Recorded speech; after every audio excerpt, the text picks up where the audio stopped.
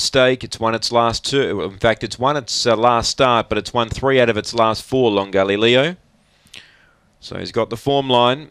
I know better the main pick to beat the favourite Long Galileo. Set to run. Favourite wears the checkered rug. They're ready. Race 7 Gawler. Set away. Long Galileo jump well. Looks like it'll find the lead. Booting up out wide. No through road.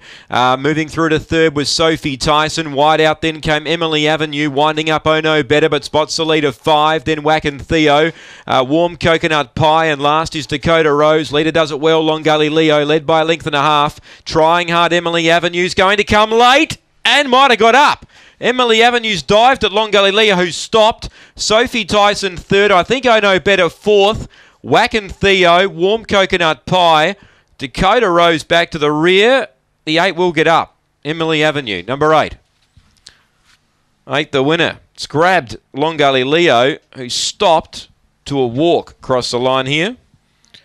And the eight's grabbed the two. The four's got third Sophie Tyson, and one's got fourth oh Ono Better. Eight, two, four, and one. 23 even. If you back the fave, you had the money spent. But uh, it's uh, really carved up late, and Emily Avenue swamped it and got up and won. 14.46 the run home, 23 even the time. Emily Avenue, Judith Hurley, winds up late and runs down the favourite. Long Galileo second. Sophie Tyson third.